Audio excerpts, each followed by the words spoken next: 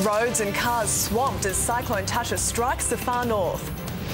Some buildings torn apart while others escape damage. Oh, the daylight. Look up in the daylight, that's all. Presents and parties turn the wet Christmas gloom around. And Ricky Ponting declared fit for the fourth Ashes test. This is Nine News with Sylvia Jeffreys. Good evening and Merry Christmas. I'm sure it has been for most of you, but not all those in the state's far north. Their Christmas morning was interrupted by tropical cyclone Tasha, which crossed the coast as a Category 1 system between Cairns and Innisfail. It's caused problems across the region, including Hinchinbrook Island, where there are concerns for two groups of bushwalkers who didn't return yesterday afternoon. Reporters Andrew Trewin and Ashley McDermott are in, in some of the worst affected areas. Firstly to Andrew and Cairns. How are things there, Andrew? Yes, Sylvia, when you look at the weather now, it's difficult to believe that only about 12 hours ago. Christmas and the water often go hand in hand on the Gold Coast, but in a different way today. Reporter Kari Ann Greenbank joins us. Kari, how's the day been there on the coast?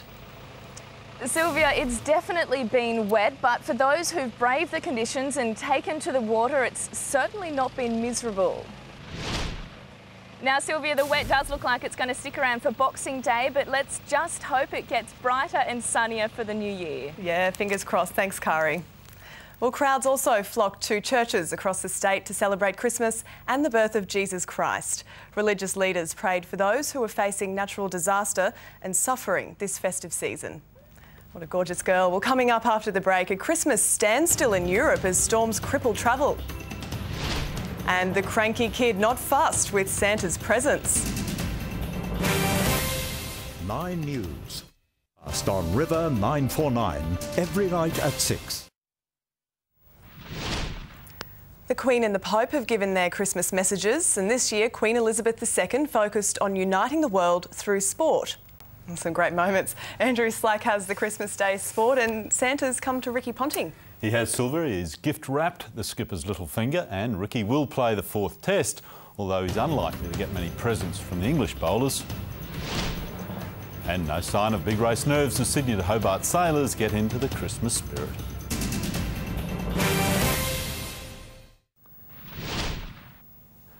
Ricky Ponting has declared himself fit for tomorrow's Boxing Day test after surviving another tough practice session.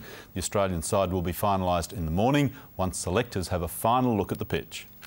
And if you're not one of the 92,000 at the MCG tomorrow, you can watch the cricket on 9 here from 9am. And we're hoping to make it 2-1 for the 2 Aussies. 2-1 with one to go in Sydney, that'll be the plan, yep. Great, fingers crossed. Well, Birdie's in next with the latest on the weather.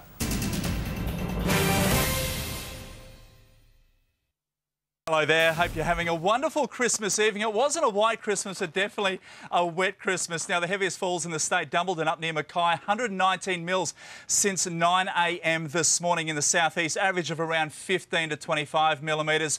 More tomorrow, 50 to 100. So brace yourselves. A lot of localised flooding, I'm sure, in the low level lying areas for tomorrow. Now, in the city at the moment, it's down to 24 degree temperatures. Humidity is right up there, 83%. Winds south-east at 2 Ks. Across the southeast, minimum temperatures 21 to 22 degrees. Today, the mercury climbed to 25 at Ipswich, 27 Redcliffe, 28 Sunny Coast.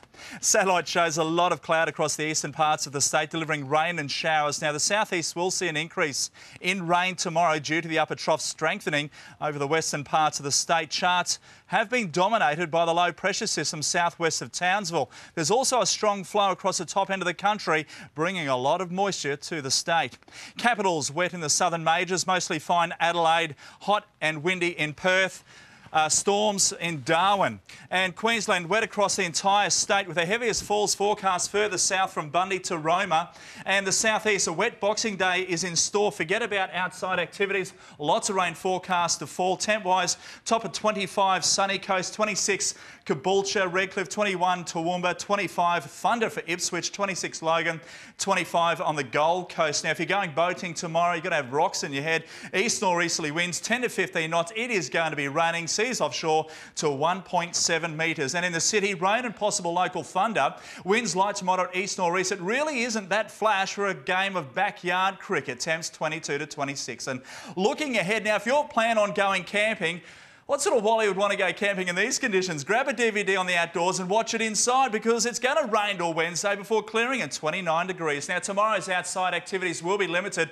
Personally, I'd be staying inside and uh, polishing off the or the uh, Chrissy fruit today. But if you are heading out there tomorrow, here's what's happening. Surfers, I'd be trying those open beaches early. The points as well. Swells a tiny two foot on offer at the moment. Uh, for those who want to get out there and cruise the new Christmas boards, get out nice and early. That'll be your best bet. The beachies, well, I'd be taking the goggles with you as well well. Swimmers stay between the flags. Boaties, one or two words actually, raincoats. Here we have it. The kids are ready. Christmas dinner at the Burt residence. And of course, my lovely wife's, uh, you could say, handmade eggnog truffles for dessert there. I can tell you, Sylvia, looking forward to it. Back to you. Merry Christmas. And Merry Christmas to you. And to your little one is first Christmas.